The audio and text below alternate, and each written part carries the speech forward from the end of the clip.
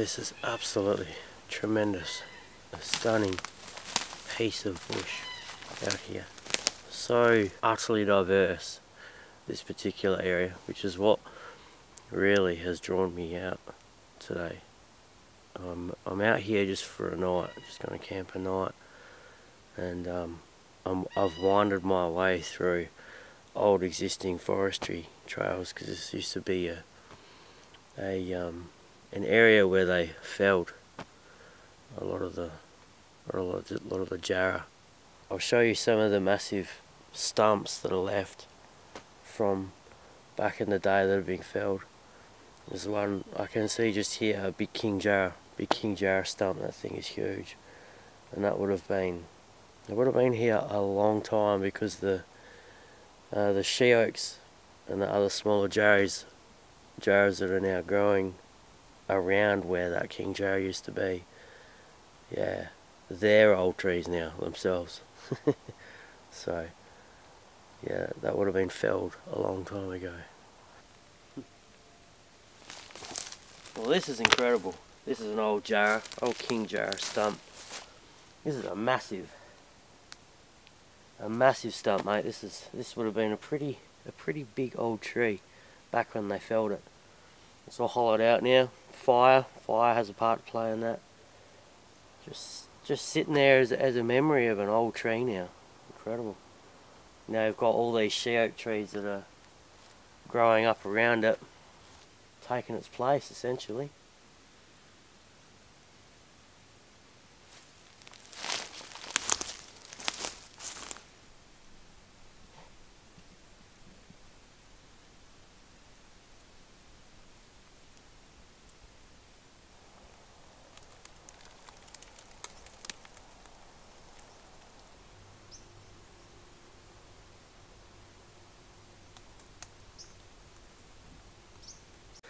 Very common little tree, this one. Pulgala, or uh, Banksia grandis. Bull, bull Banksia, it's got a few names. Beautiful Banksia tree. And they'll have, this is a juvenile one, it's pretty small. But they grow this beautiful big flower.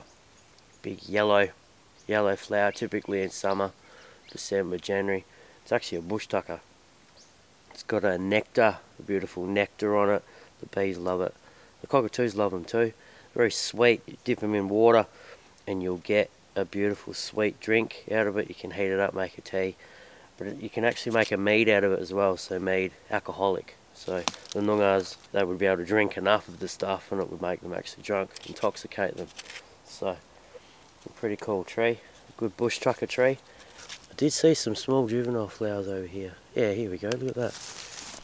So these little flowers these will get to, imagine this about 40 centimetres long. Very cool. Full of honey, full of nectar. Dip them in a cup, a little bit of bush tucker. Yeah. Now you see these plants, these trees, they're common in the jarrah forest. So they're very common to Tuart woodlands and jarrah, jarrah forests. See them all through these areas. Of all sizes too. They'll grow up to about 10 metres. Quite a lot of them laying around down here on the ground as well. There's one right here actually. It's snapped at the trunk, come falling to the ground.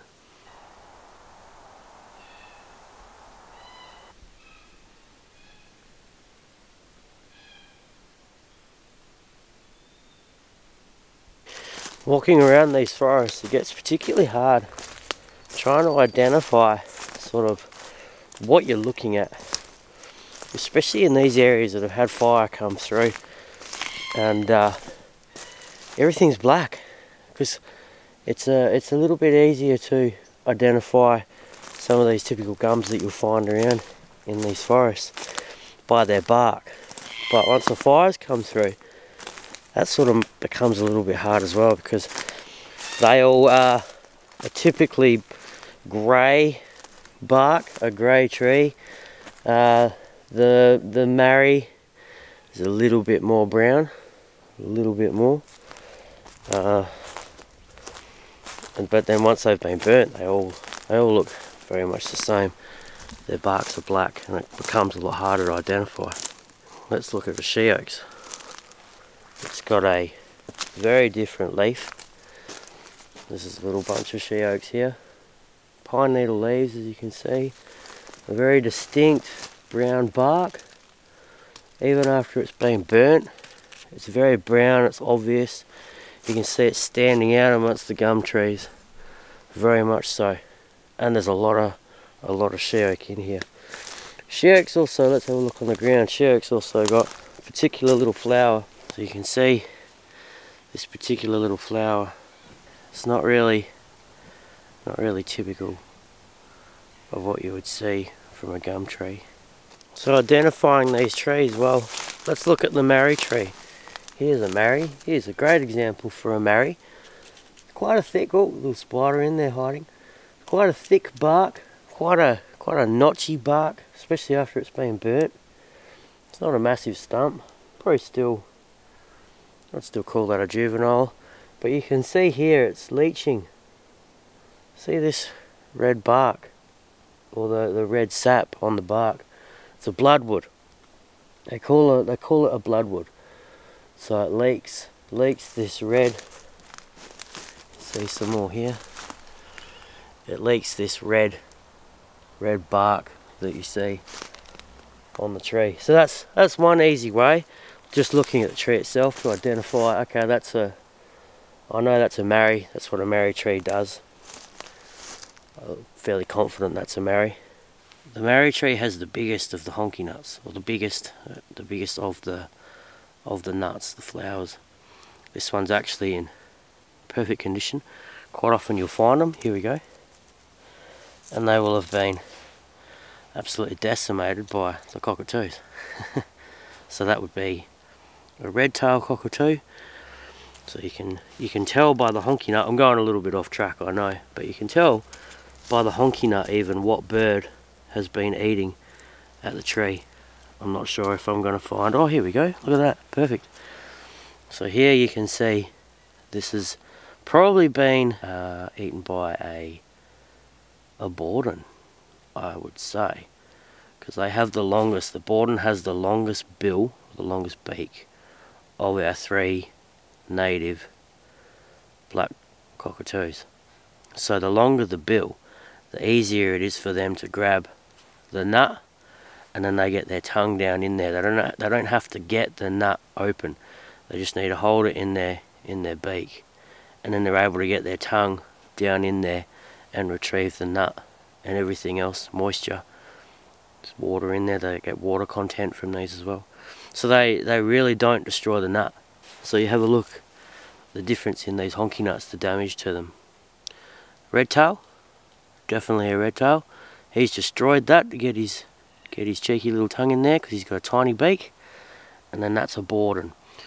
So anyway, going back to what I was talking about. These marri these marri trees, they have the biggest, the biggest nut of the gum trees that we'll get in our southwest. So you can identify a marri usually by what's around underneath it. So they eat the they eat the jarrah nuts as well, so they've been getting right into them. The bark on a jarrah tree is a lot, a lot slimmer, a lot, uh, a lot sort of streamlined, and um, and a bit longer. The bark, the bark itself is a bit stringier, a bit longer as well.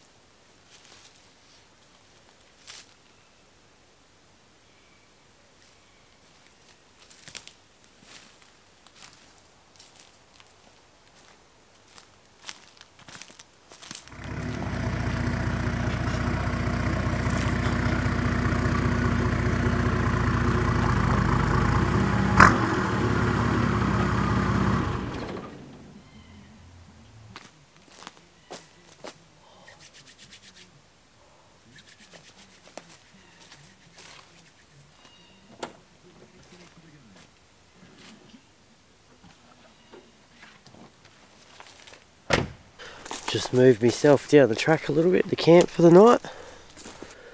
More of this beautiful tall timber country. Plenty of old stumps around from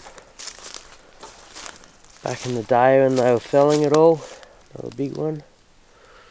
Sun's getting down now, I'm going to get this awning out, get set up, get ready for a beautiful night here out in the bush. amongst these jarrah trees, marri trees. Oh, mate. She oaks, not a puff of wind. Red tails are playing around. Sun's getting low. Fresh air. Yeah, it's getting cold. It's going to be a chilly night. Oh, I just love it. I just love it.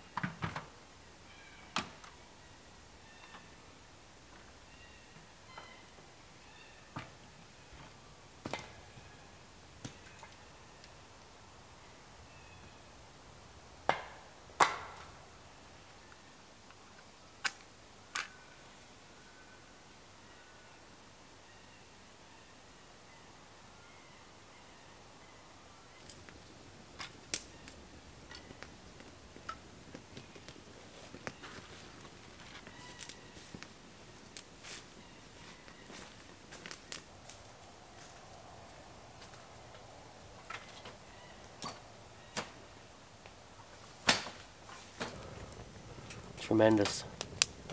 As Andrew St. Pierre White says, does it give you the fizz? Yep. In case you're watching, Andrew, this definitely gives me the fizz. Yep. Definitely gives me the fizz.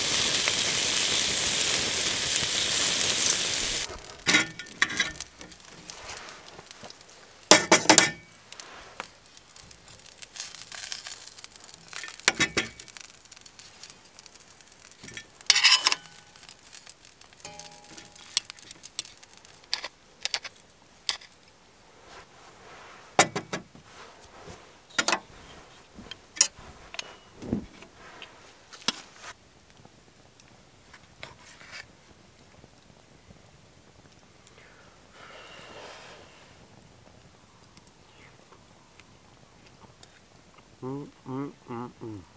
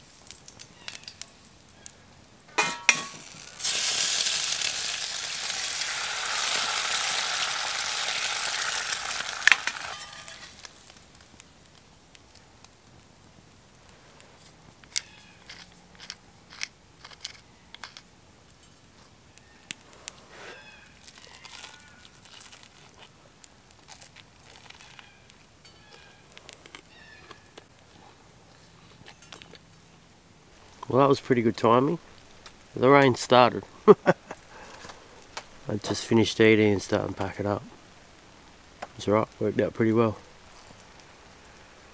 Drizzling. It's not rain, it's drizzle. Quite moody. It's a shame to have to pack and rack.